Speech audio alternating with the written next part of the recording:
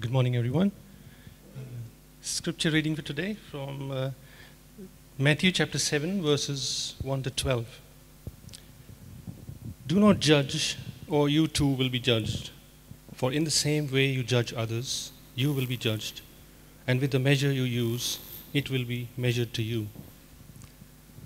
Why do you look at the speck of sawdust in your brother's eye and pay no attention to the plank in your own eye? How can you say to your brother, Let me take the speck out of your eye, when all the time there is a plank in your own eye? You hypocrite, first take the plank out of your own eye, and then you will see clearly to remove the speck from your brother's eye. Do not give dogs what is sacred. Do not throw your pearls to pigs. If you do, they may trample them under their feet, and then turn and tear you to pieces. Ask, and it will be given to you. Seek, and you will find. Knock, and the door will be opened to you. For everyone who asks receives. He who seeks finds. And to him who knocks, the door will be opened. Which of you, if his son asks for bread, will give him a stone? Or if he asks for a fish, will give him a snake? If you then, though you are evil, know how to give good gifts to your children, how much more will your Father in heaven give good gifts to those who ask him? So, in everything, do to others what you would have them do to you. For this sums up the law and the prophets.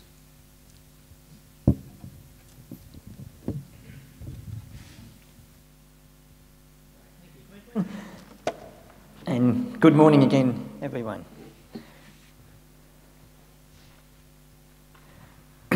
So, as many of you would know, we've been working our way through the Sermon on the Mount, some of the teachings of Jesus recorded in Matthew chapter 5, 6, and 7. And today we start chapter 7. As I mentioned earlier, uh, for the next two weeks we have some uh, uh, other speakers, so I'll be back in three weeks. Um, I mean, I'll be at church in the meantime, but three weeks we'll finish off the series on April the 11th. So it's always good just to um, review before we get into chapter 7. So, what we've learned so far is that Jesus is talking to his disciples, and um, he began with what some people call the Beatitudes, a whole series of statements about God blesses people who have certain qualities. And the first one was God blesses those people who are poor and realise their need for Him. This is not about financial poverty, this is simply about humility and uh, simply acknowledging that God is God and we are not. Jesus says it's good for us to acknowledge the fact that we are human and small and imperfect, but God is eternal and all knowing and perfect. It just keeps us keeps things in perspective to acknowledge that. Jesus also said that God blesses people who mourn, God blesses people who are humble, who hunger for justice, who are merciful, whose hearts are pure, and those who work for peace. And Jesus also says that God blesses people when they are persecuted for his sake. Uh, sad but true that some people in the world, uh, some of the followers of Jesus, are, um, you know, mocked, uh, persecuted, and insulted and treated badly. And Jesus says, when that happens, we should be really happy because a great reward awaits us in heaven. Now, not sure if you've ever been persecuted. I imagine it's probably not all that easy to feel yay, happy, excited about it.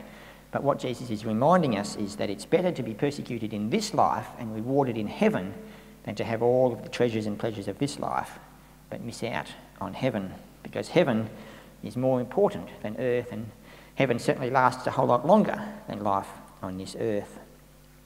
And Jesus then says his followers should be an example to the rest of the world. We should be like the salt of the earth to improve the flavour and preserve what is good. And we should be like a lamp on a stand or a light on a hill, giving light to everyone around us. And then Jesus talks about some of the, um, the laws that God had written in the Old Testament for his people. And Jesus says, I haven't come to abolish them, but I've come to fulfill them. And he clarifies some of them.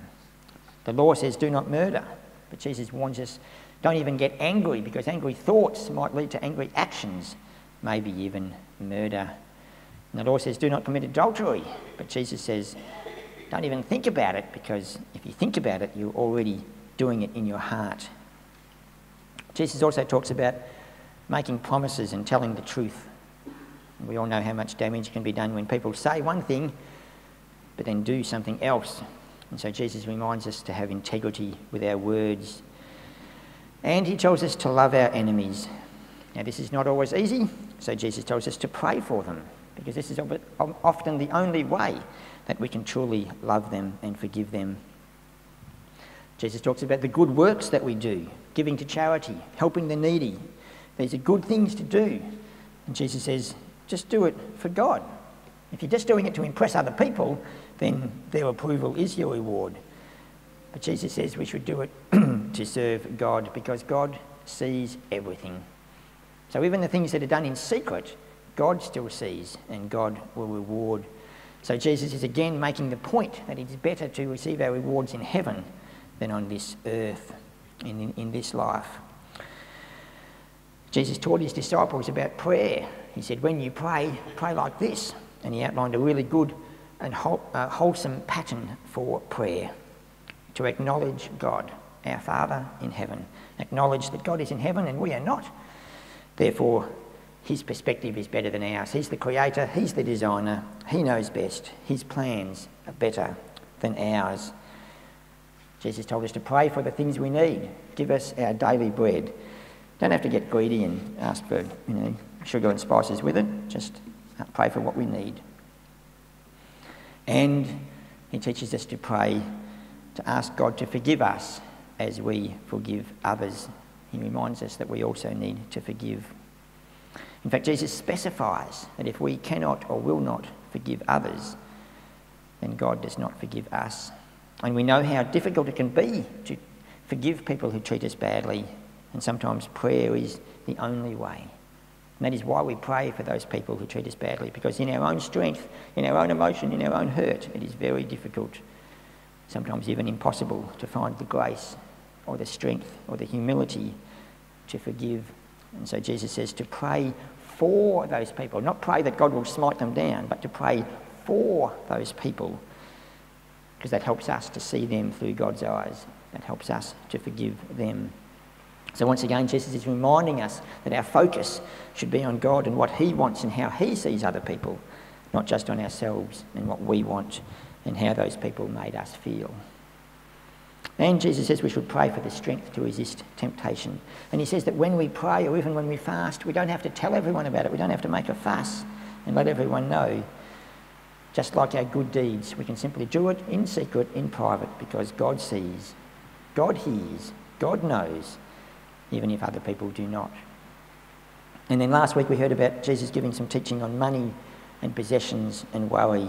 And Jesus says we should focus more on heaven than on earth.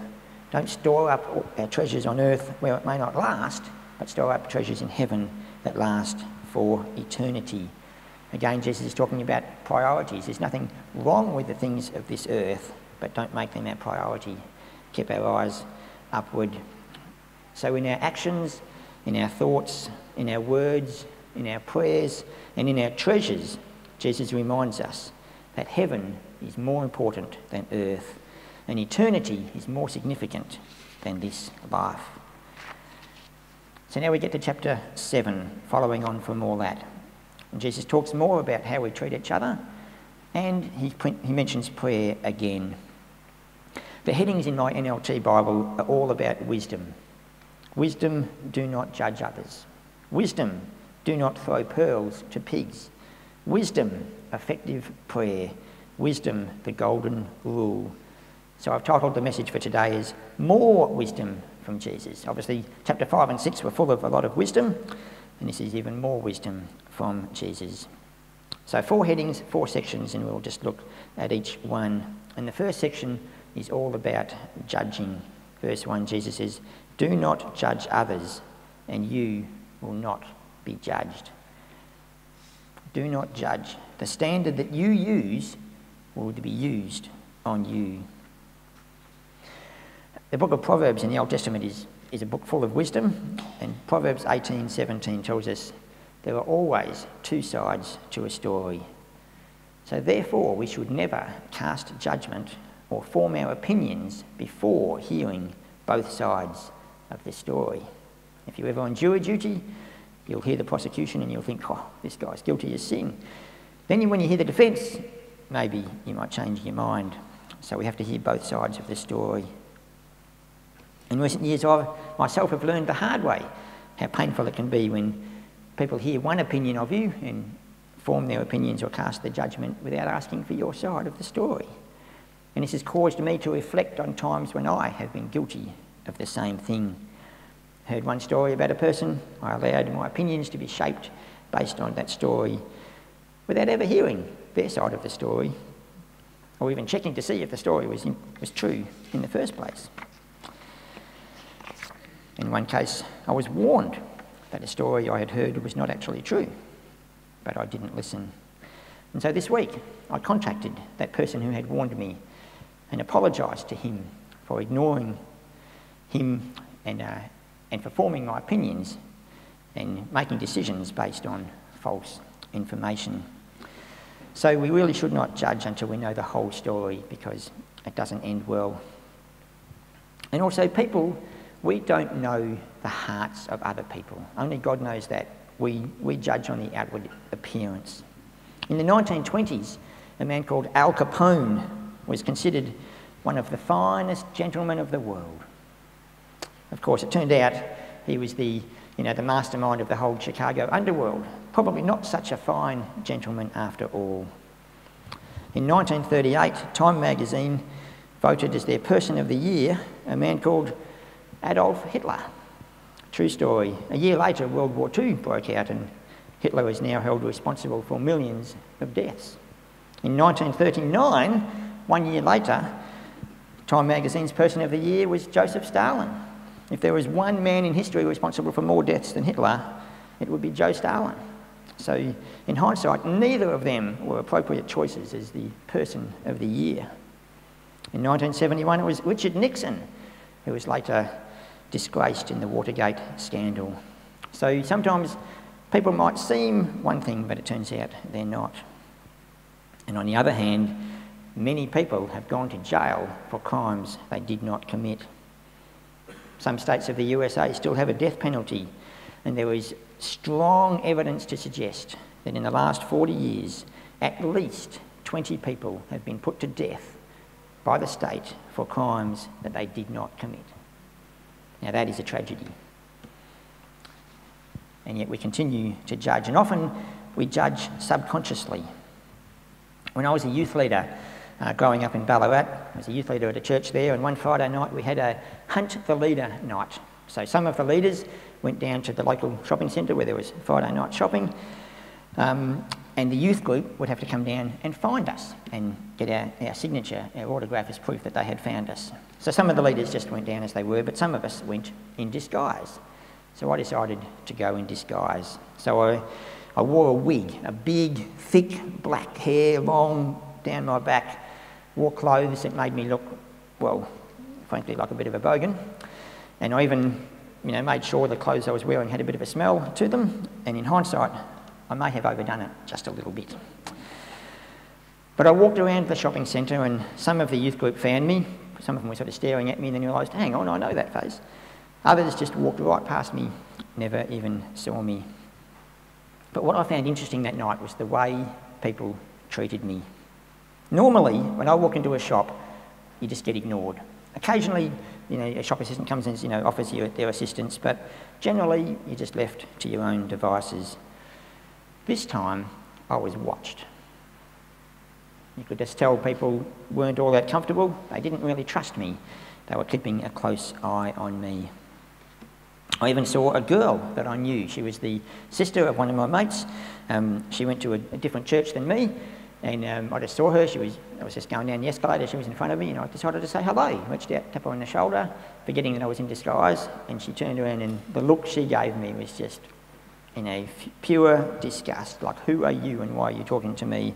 I tried to sort of lift up the wig and show her that it was me, but then she was too embarrassed, and she left anyway.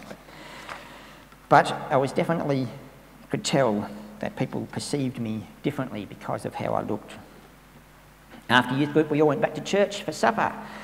And on the way back to church, I pulled in to the supermarket to buy some things for supper, still in disguise. And once again, I was watched.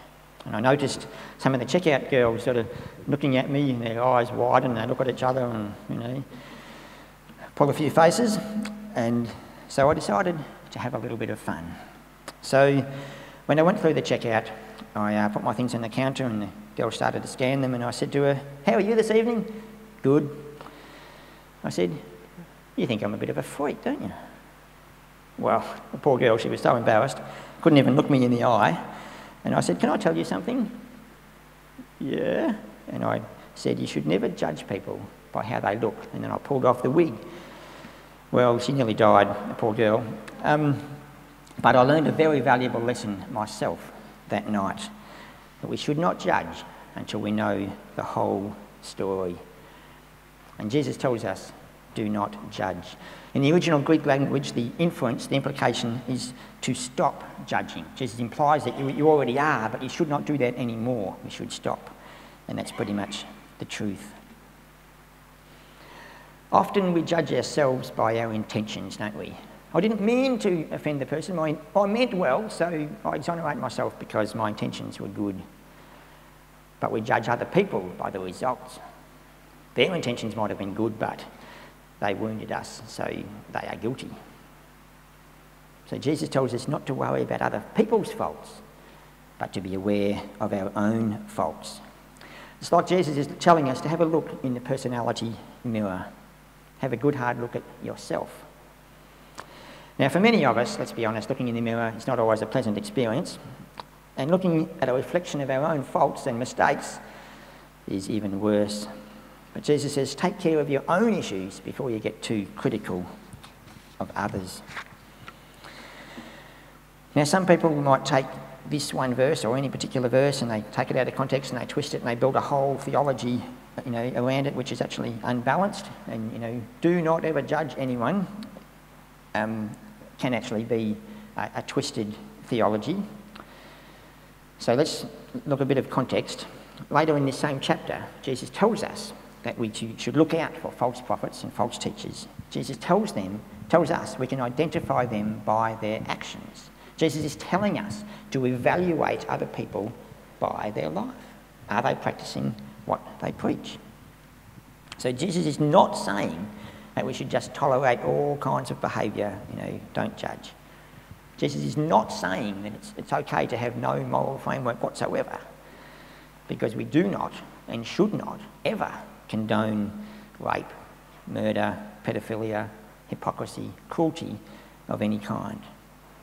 So I do not think Jesus is saying, do not evaluate other people. Jesus is saying, he's not saying, don't intervene if you see cruelty happening. But what he is saying is, do not condemn. That is not our job. Do not become overly critical of other people. Be aware of your own issues and remember that if you judge others too harshly, the same scale will be applied to you. And none of us want that. If we've been listening to the Sermon on the Mount, we're probably all aware that we don't always measure up. So we don't want to have a harsh scale applied to us. We all have faults. So don't judge someone else just because they sin differently than we do. In verse 6, Jesus says, Do not waste what is holy on people who are unholy. Don't throw your pearls to pigs. Now, in Jesus' time and his culture, pigs were considered unclean animals. So, referring to people as pigs was most definitely not a compliment. But actually, I don't think Jesus is referring to people as pigs. Jesus is using a vivid illustration, a graphic illustration, to make his point, as he often did. Jesus told his disciples later to go into all the world and make disciples of all nations. And the Bible says that God wants everyone to be saved. So Jesus is clearly not saying that there are people out there who, don't, who, are, who are pigs who don't even deserve to hear the truth and hear the good news. He's not saying that at all. I think his point is summed up later in, in the, the gospel. Jesus sends his followers out to the nearby villages to go and share the good news. But Jesus says to them in Matthew chapter 10, verse 14, Jesus says, If any household or town refuses to welcome you or listen to your message, shake its dust from your feet as you leave. In other words, when you look at the whole story and context, I think Jesus says every single person on this earth deserves the opportunity to hear about Jesus. But if people simply refuse to listen, then it's okay to move on and share your blessing with someone else. Then the third point, starting at verse 7 be persistent in prayer. Keep on asking, keep on seeking, keep on knocking. We can and we should be persistent in our prayer. This is more wisdom. Ask and it will be given. God hears, God cares, God provides. Seek and you will find. Now, sometimes we don't find what we think that we need, but we do find what God knows that we actually need, which is actually something better. So it may not be what you had in mind, but you will find what you really need. Knock and the door will be opened, which implies, doesn't it, that some of these doors are closed until we knock. Now, if there's something in this life that we cannot do or cannot find, what do we do? We ask for help. So it's okay to knock on God's door and ask for his help. And then, verse 12, the last verse for today, which is known as the Golden Rule. Now, some people say the Golden Rule is the one with the most gold gets to make the rules. And that's kind of amusing, and that's pretty much how our world often lives today. But that is not a healthy rule to live by for everyone because the person with the most gold will look after themselves and other people will miss out. Other people say the golden rule is do unto others before they get a chance to do unto you. And that's also not a healthy rule for everyone to live by. So the real golden rule is this saying of Jesus do to others whatever you would like them to do to you. Now, other teachers and philosophers of ancient times have been recorded as, and quoted as saying things like, if someone hurts you, then learn from that and don't pass on that hurtful behaviour to someone else. In other words, do not copy or repeat negative behaviour. And that's good, that's good advice, that's wise. But Jesus takes it a step further. According to a commentary, where Jesus is the first recorded person to actually put this, the positive twist on this. Do to others what you would like them to do to you. Jesus is telling us to be proactive, do the nice things, to love people intentionally, to start the ball rolling with positive action rather than simply preventing the negative. Of course, it is great if we can prevent and stop evil behaviour, that is good. But it's also better if we can be the ones who initiate good and wholesome and positive behaviour. So Jesus asks us to do the things that we would like kindness, encouragement, compassion, generosity, love others, listen to others, care for others, do the nice things, and treat other people the way you would like them to treat you. And that is good advice. That is truly wisdom from Jesus.